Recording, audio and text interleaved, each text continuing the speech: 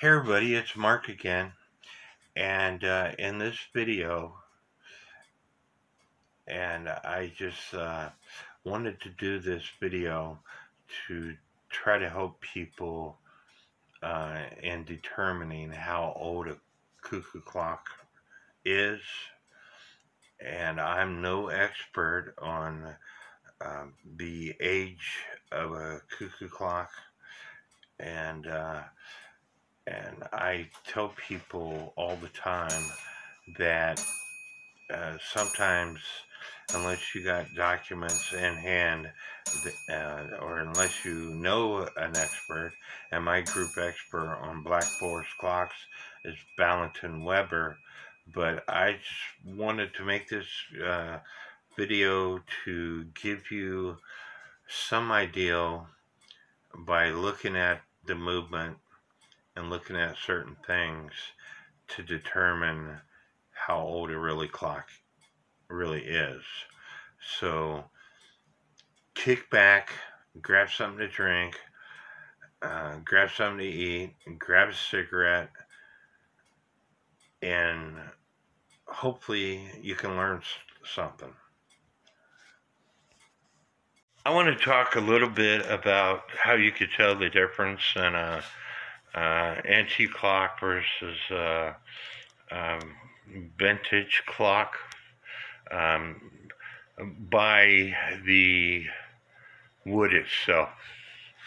On an antique clock, the deer ears, it's all carved out of one piece. On uh, regular clocks, uh, and I will show you in a second, the ears are carved separately and they're glued to the deer head. And the antique pendulums, they are more designed than modern pendulums. Here you have a pendulum bob that is got this threaded section on it. Uh, that's uh, and the way it connects to the uh, wire itself is different than most modern clocks. The carvings is more specific on an antique clock versus a vintage clock. When I say more specific, you know, this is uh, after the hunt hunter's cuckoo clock. You could see the rope that is around the rabbit's leg, and you can see the rope that is around the pheasant's leg. And again, this is my Albert Plie clock that was made in 1880. Uh, you could see every little bit, bit of detail on this clock. And they did a lot of, they took their time and gave you a lot of detail. Now, there are reproduction clocks that have a lot of detail in them, but they have a, a, a newer movement in them also. The Regula 71 and Regula 72 movements are designed for a huge clock like this. And here is uh, after the hunt, Hunter's musical cuckoo clock. And as you can see the deer head, the ear is where it has came off, it's flat across. Like I said, they carved the ears separately and they glued them to the head. As you can see, the rabbit is not as detailed and there is no rope on the leg where they would hang the, uh, the animals upside down and tie a rope to their legs. Here is a before the hunt, eight day hunter's cuckoo clock.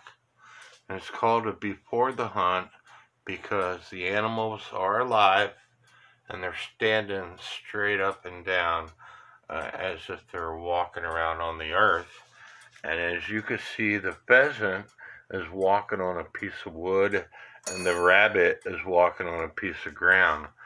But even though the bag is pretty detailed and the horn is pretty detailed and it's a pretty detailed item, it is totally different from the antique clock. Here's my uh, father and son antique clock. And I want to show you the pendulum. As you can see, the pendulum is different from the pendulums of today. There's a slot in there that a sometimes they use a screw and screw to the pendulum bob, but in this case they didn't. But as you can see, the leaf is different. Where they attach it uh, to the uh, top of the stick is differently.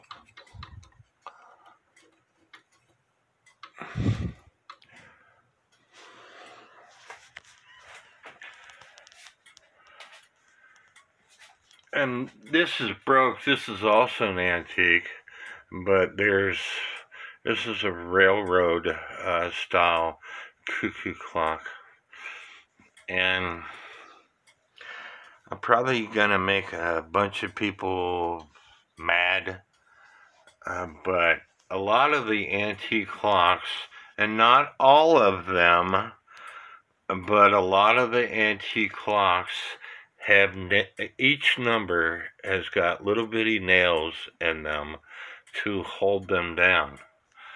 Um, I have a group member. Her fam, she's German, okay. Her family is is from Germany, and they're dirt poor farmers. And during the winter time, they would make cuckoo clocks. And they would southern engineer is what we know it as as a, a, a, political name. There are some other names out there that i won't mention. But they would southern engineer um, parts to the clock they couldn't afford the glue to glue the numbers down so they would take material that they have around their farm and they would make little nails. Uh, yes, there's ways of making glue. One way is using bread to make glue, but because they're dirt poor farmers, they would rather eat eat their bread and uh, materials to make the bread than to make glue out of it. So uh, the richer clockmakers, they could afford glue. And so I got to an argument and a discussion pertaining to this person posted history from her experience, from her mother's experience. Her father's name is Paul Warner. Her grandfather's name is Paul Warner. Her great grandfather's name is Paul Warner. They were artists and uh, did. Uh, her great grandfather grandfather one was an artist, and uh, he would use his artistic talents to help make cuckoo clocks. Here's another one of my antique clocks. As you can see, the movement is pinned in. This is a Lear style movement, and it was made um, around 1850 or thereabouts. the paper is original. The topper are trapezoid, they're triangle in shape. When I got the clock, I had to redo the bellows. My clock, I chose to use Tyvek. Um, here is the pendulum. Circled style metal pendulum that is threaded and this bolt goes down through the pendulum and that is uh, some type of metal also. And there's a nut right here. Um, so the movements are a sure sign of how old they are. They quit using pens in around 1900 or give or take um, are there movements out there with nuts on them versus pens probably so but for the most part they went to nuts versus pens around 1900 to 1910 this is a thicker movement. As you can see, as uh, the uh, Lear style pendulum. Uh, sorry, Lear style movement. And so, uh, let me turn this uh, uh, clock around so you can see the front. Again, the um, the numbers, each individual number is nailed on. They did make uh, vintage and modern movements with nailed on numbers, but the the door itself, the cuckoo bird, it's got articulated wings, and there's that book that I pointed out that shows you the transformation of the uh, cuckoo bird, but I also told you that not all clockmakers made cuckoo birds with articulated wings. Beha um, didn't always make articulated wings in their birds. Also want to mention, this is a Papa cuckoo clock. As you can see, the movement itself looks very identical to a Regula 25 movement, except for the lift arms are plastic. The bellows, they use some kind of rice paper or something to make the bellows. But because bellows and Papa made cuckoo clocks, in the 1950s and 60s. But with the bellows being a triangular in shape versus uh, this type of bellow, on the older antique clocks, there's a more defined sound than the modern clocks.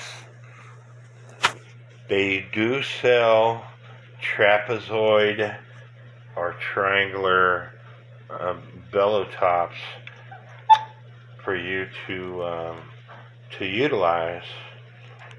Um, so, but the antique clocks have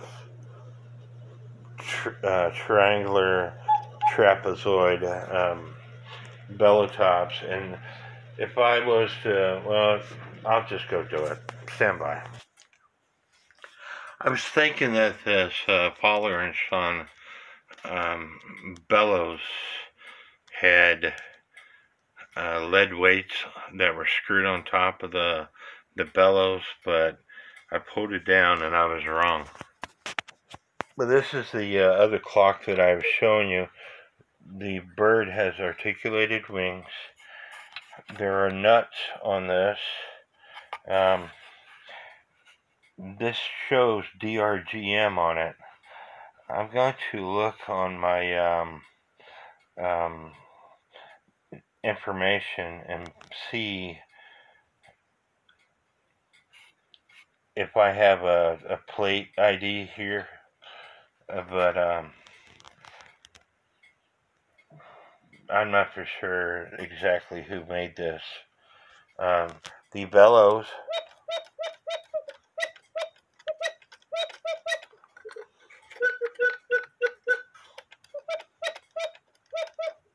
need fixed, but uh, they're trapezoid bellows. You see how this door goes onto this clock? There's some space. It's an older style clock, but with it having that DRGM um, on there, I, it's from the 1950s. This clock right here, and that's because the DRGM is a, a patent number type thing. This is a clock with a DRGM on the movement. Um, I'm going to have to do some research.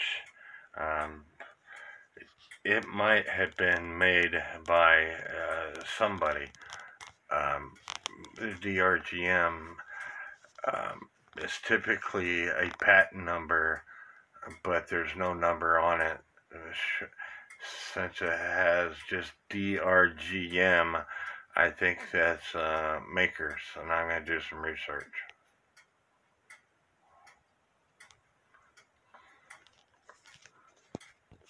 This is what the uh, Mikrolisk database says for DRGM, but there's no circle, and uh,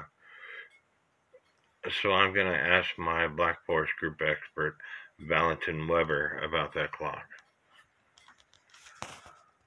But as you can see with modern or vintage clocks, sorry, they don't have nails and the numbers.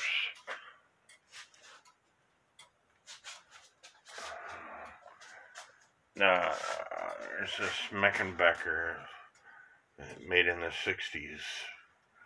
But the antique clocks have nails and the numbers. Now, this is a Papa clock made in the 50s and 60s, and it has a brad and each and every number. Uh, and this is a calendar clock, and it does work. And the ear came off, and I gotta find the stupid ear. But anyway, there's. I'm not an expert on the history, and that's why I have a a group expert uh, to help me out when I am um, guessing on an age, I, I would say. Uh, but there are some things that are specific. And like I said, some of the modern day clocks are replicas of an antique clock and uh, they will fool you until you look at the movement. And then the movements, um, or Regula, or Hubert Herr, well, not really Hubert Herr anymore. They went out of business a couple years ago. But the movements are not antique movements. So, what I'm getting at is always ask a seller to see the movement. Because to me, an antique clock, the movement is what sells me the clock. If you take an antique clock like this or this, and it has a modern movement in, I'll walk away from it. I don't want it. The movement to me sells the clock. And speaking of movements, this is that George Cool uh, Cuckoo Quail Clock. I thought it was this movement. Like I said, I got I've got over a hundred cuckoo clocks. It's kind of hard to keep up with, but I have a clock that the movement was designed so you can work on half of it and then work on the other half. In other words, there's a split right down the middle of the movement so you can take one half of the plate off. And I thought it was this George Cole clock, but I I'm wrong. Um, and it was designed that way, and I personally love it because you can work on half of a movement at a time. And I wish they were all designed that way. Because when you start getting this many gears in a train or in a movement, it's kind of hard to work on um, to uh, to get everything set up just right. This clock right here is one of those clocks that is a modern clock that has this uh, Regula 702, sorry, 72 movement in it. And as you can see, the clock is very detailed. Uh, 72 is for a musical uh, cuckoo, sorry, the 72 is for an eight day cuckoo clock. A 71 is for a one day cuckoo clock. But as you can see, that is a very huge clock and it's a very expensive clock. And it belongs to Sean Baker, which is one of my group members. This is for the um, for the Fox and Grapes cuckoo clock that I showed you in another another video. And it's a Regula 701 movement. And I believe it's a one day movement and I believe it's the prerequisite to the Regula 71 movement as you can see the the arms sorry I'm having video issues here because I got too many cables in the way. As you can see the arms for the guy and for the bird is longer. And so it was designed for a bigger clock just like the Regula 72 was designed for a clock that huge and here I just want to show you um, here on uh, a, a, quick search on the internet uh, some antique clocks.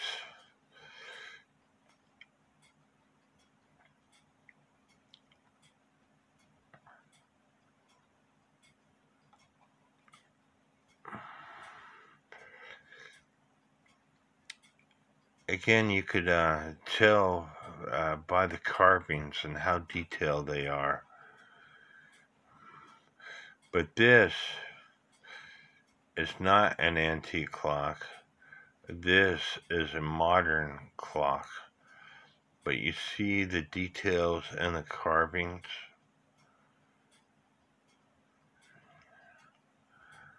But you see the price $11,000. Um,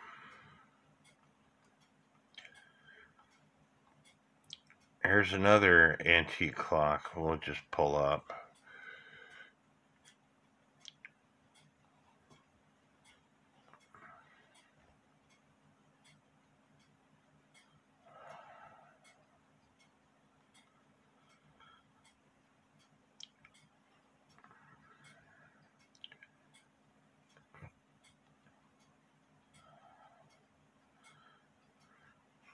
You see the details in the carvings? This has got bone hands on it. And that's what they originally used was bone hands. You see the pendulum in the background?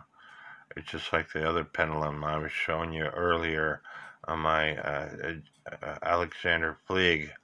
But this looks like a cuckoo quail clock.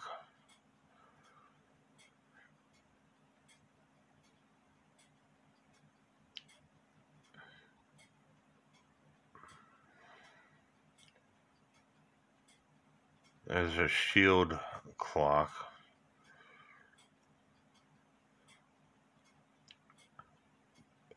I was looking for a specific clock.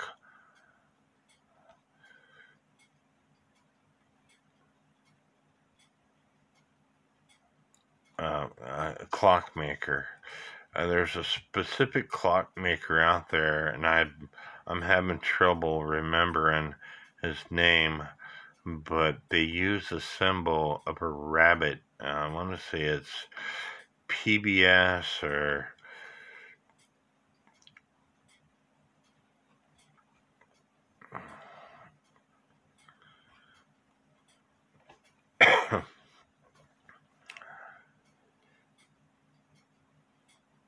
I, I, my mind is drawn a blank. But the the details in the carvings is one of the things that you want to look at is how detailed is it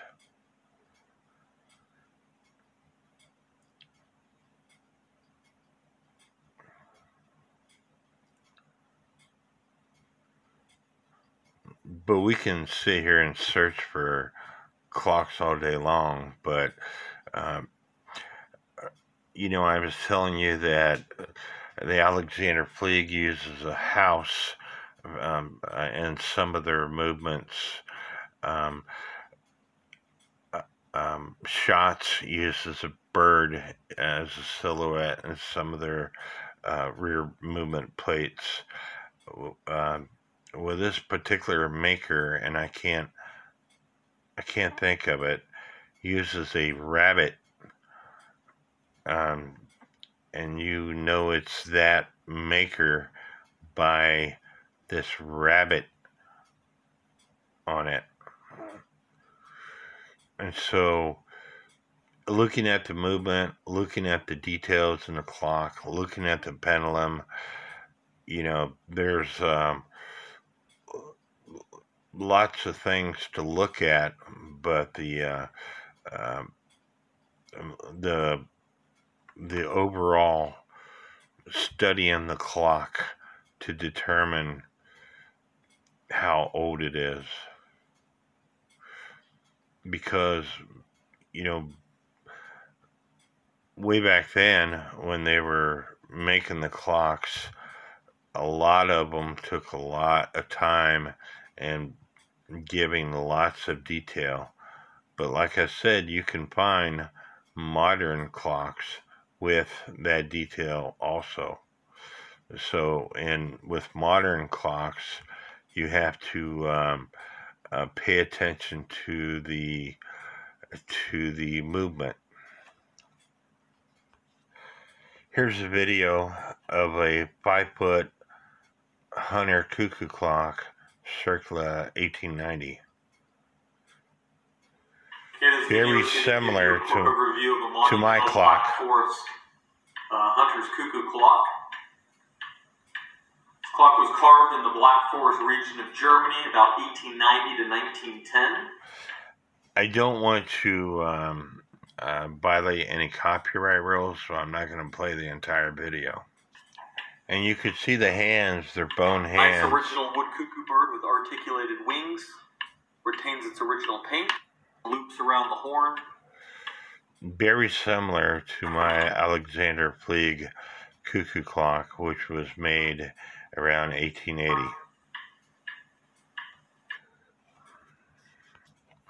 But because uh, I have group members who are a lot smarter than I am, um, Frank Snyder is one of my group members who um, repairs trumpeter clocks.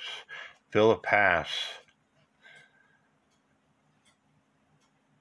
It's, it's made by Philip Haas, the Georgian Black Forest movement, has the brass running rabbit on the escapement bridge.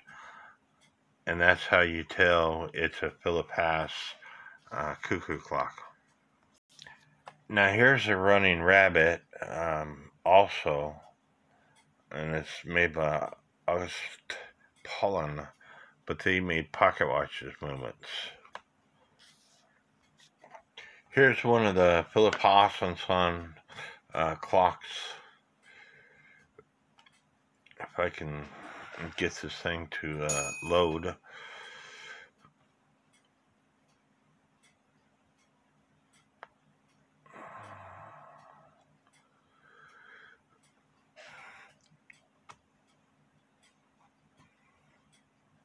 As you can see, there's a lots of detail in it. I'm going to see if I can find one with the movement. The one I was asking Frank about was on this website, and it sold for $282.01.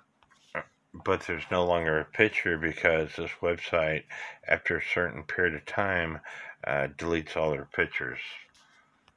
And here's uh, Philip Haas and Son um, symbol, the running rabbit. and you can buy it now for $19.99. It's on eBay.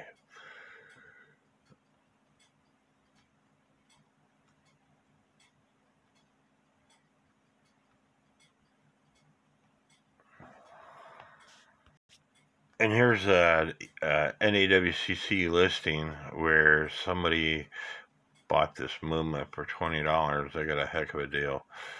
But it's a Philip Haas and Son movement.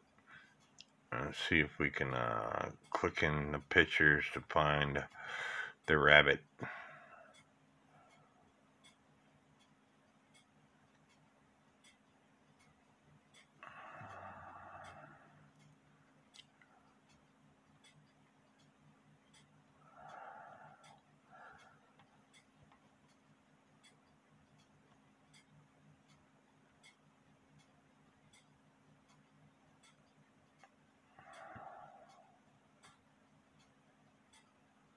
And there's the rabbit right there that Philip Haas Son uses to symbolize that this is their movement. Very sought after uh, clocks. Um, I that's one of the uh, clocks that I was trying to remember in a previous video on the history of clocks. Anyway, uh, I want you to stay tuned for the next video. In the next video, we're going to talk about putting a clock in mourning. I touched bases with it in a previous video, but I've had a few questions. I'm wanted to make its own separate video. So stay tuned. Hit the subscribe button, hit the like button, hit the notification button, and stay tuned uh, because together uh, we're learning things. May God bless each and every one of you.